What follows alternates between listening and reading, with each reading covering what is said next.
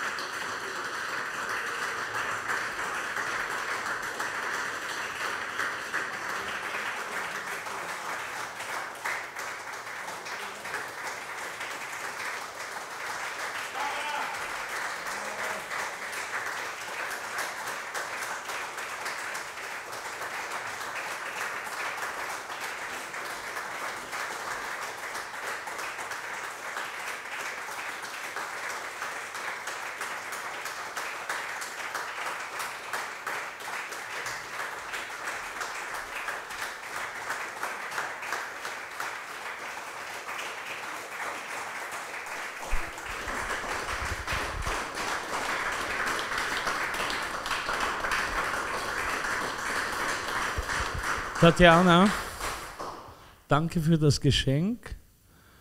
Erst zwei Tage sind von dem Geschenk vorbei, Gott sei Dank. Einfach großartig.